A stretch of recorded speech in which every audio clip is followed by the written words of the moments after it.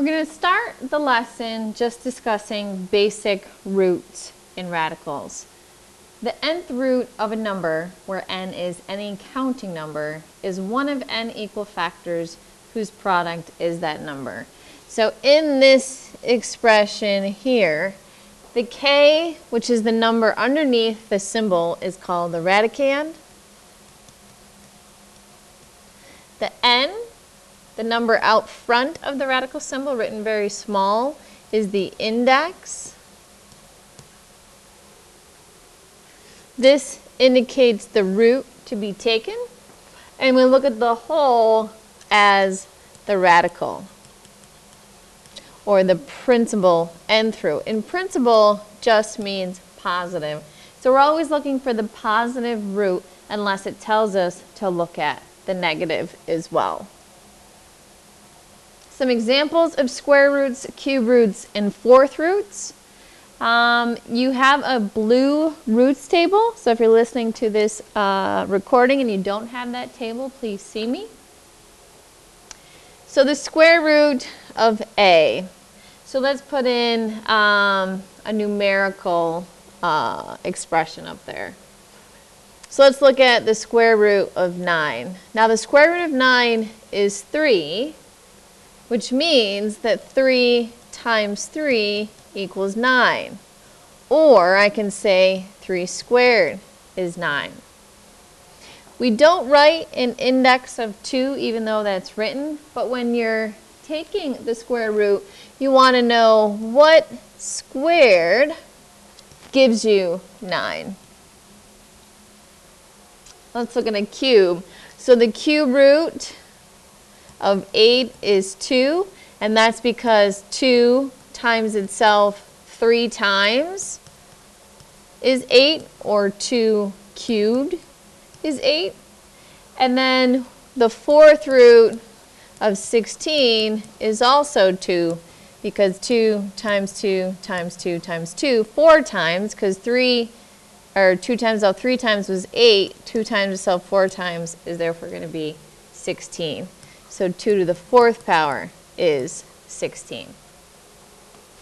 So in summary, we can take a look at these raising to a fourth power and taking the fourth root as inverse operations. So taking the square root of a number is the inverse of squaring.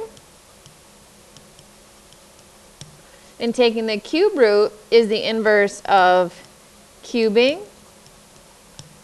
Taking the fourth root is the inverse of raising a number to the fourth power, and so on. So the fifth root is the inverse of raising a number to the fifth power, and the sixth or seventh root is the same as raising a number to the sixth or seventh power. Now, algebraically,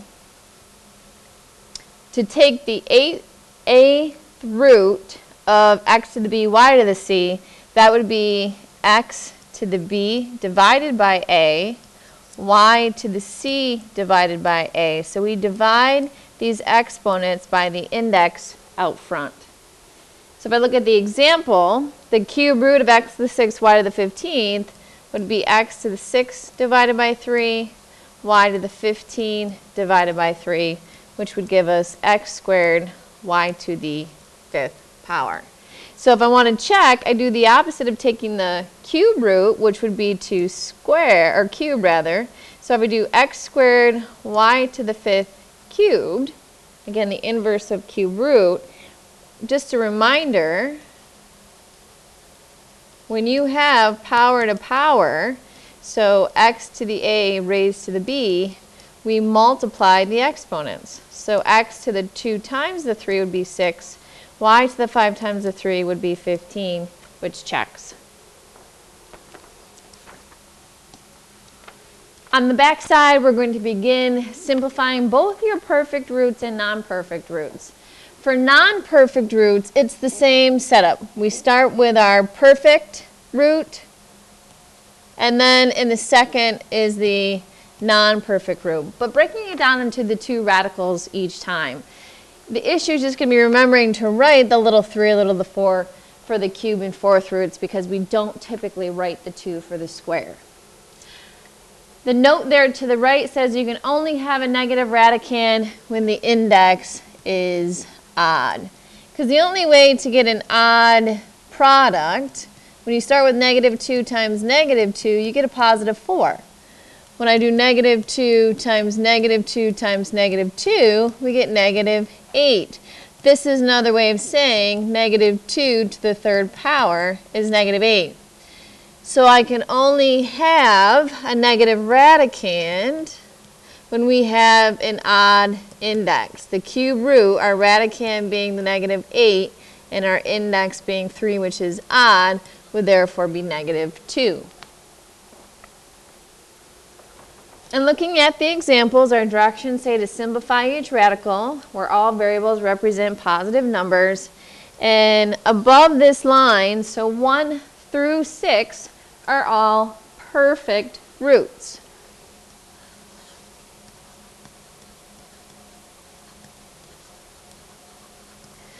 So we can do our calculator or use our calculator for every single one of these questions numerically to get the answer. When you have the plus or minus out front, your answer needs to have the plus or minus. The square root of a fraction is a fraction. Square root of x squared is x. Square root of 4 is 2. Square root of 100 is 10. Square root of x to the fourth, again, the exponent out front is 2. We just simply divide. x to the 4 divided by 2 is 2. y to the 6 divided by 2 is 3. Notice that once I actually take the square root in this case, there's no longer a radical symbol.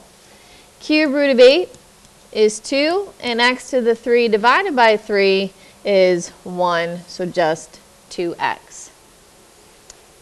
Cube root, I have a negative radicand, which is okay because the index is odd. Cube root of negative 27 is negative 3. x to the first, y to the fifth for 3 divided by 3 and 15 divided by 3. The fourth root of 16 is 2. x to the 8 divided by 4 is 2. y to the 12 divided by 4 is 3. Because the negative out front, my answer has to include the negative. The fifth root of 243 is 3, and x to the 5 divided by 5 is 1. Now, for our non perfect roots. You should start by breaking it down into your two radicals. The first one being the perfect root, whether it be a cube or a fourth or a square or a fifth, and the second being the non-perfect. So 4, break it down, break it down, and then x break it down.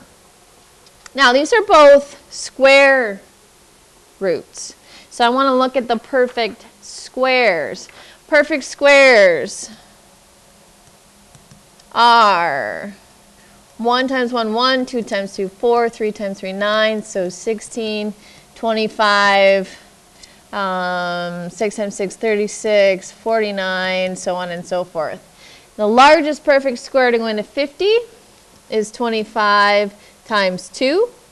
And when I'm breaking down x to the third, our perfect squares are x squared, x to the fourth, x to the sixth, x to the eighth, because they have a multiple of 2 for the exponent.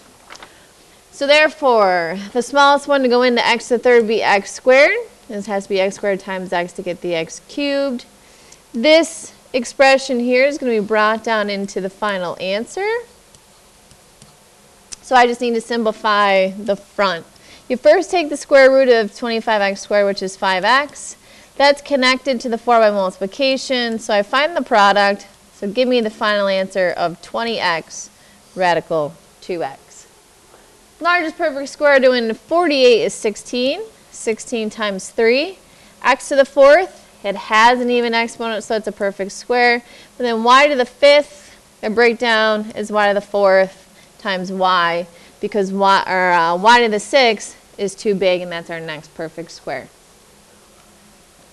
Now I have x times square root of 16x to the fourth. y to the fourth is 4x squared y squared, which will give me 4x cubed y squared, and I just bring down that radical 3y. Now we need to focus on our cubes. Okay? Our perfect cubes numerically. 1 times 1 times 1 is 1. 2 times 2 times 2 is 8. 3 times 3 times 3 is 27, and so on. So when I look at the first one, bring down the 2, I'm going to break down the cube root of 40.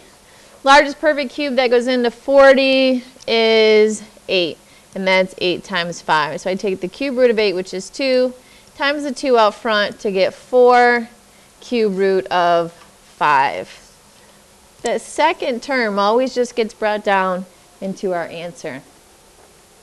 Now, 125. 125 is a perfect cube. And you notice the radicand 125 is negative, and that's okay because we have an odd index. So I'm going to break it down into my cubes. And the only thing I'm really worried about taking the cube root or breaking down, since 125 is a perfect cube, is that x to the 7th. So putting the negative 125 up front, because that is the perfect cube. Now perfect cubes algebraically are x cubed, x6, x9, x12, and so on. Because the exponent has to be a multiple of 3. So the multiple of 3 that comes just before 7 is x to the 6, so therefore times x. And the final answer here, cube root of negative 125 is negative 5. You can always do that on a calculator. x to the 6 divided by 3 is 2, and then we bring down the cube root of x. You want to leave some space in between the coefficient out front and the radical, otherwise it'll look like negative 5 x to the 23rd square root of x. Now to finish, we're going to do some fourth roots and some fifth roots. When I'm looking at fourths, or perfect fourths, those numbers would be 1 times 1 times 1 times 1. 4 times is 1. 2 to the fourth power is 16. 3 to the fourth power 81. 4 to the fourth power, 256. The largest fourth to go into 32, or that I can divide 32 by, is 16 times 2. Algebraically, that would be x to the fourth, x to the eighth, x to the 12th, as it has to be a multiple of 4 for the exponent. And the multiple of 4 that comes just before 7 would be x to the fourth, so that would be x cubed to multiply to x to the seventh, and then y to the fourth is a perfect fourth. So the fourth root of that expression would be 2xy, and then we bring down the fourth root of 2x cubed. Last one, our fifths. So our perfect fifths. 1 to the fifth power is 1, 2 to the fifth power is 32, uh, which is a perfect fifth, so I can stop there. So when I break it down into the perfect fifths, non-perfect fifths, 32 is any, again, exponents, and I'm looking at perfect fifths algebraically, that's going to be x to the fifth, x to the 10th, x to the 15th, so on and so forth. The exponent has to be a multiple of 5. So x to the fifth comes here. Breaking down y to the sixth, that would be y to the fifth, y z to the 7th would be z to the 5th, z squared. As x to the 5th goes into both, or y to the 5th goes into y to the 6th, z to the 5th goes into z to the 7, because the exponent of 10 is too big. So 5th root of 32 is 2. 5th root of x to the 5th is x. Same with y and z, because they're all the 5th power. And I bring down the 5th root of y z squared.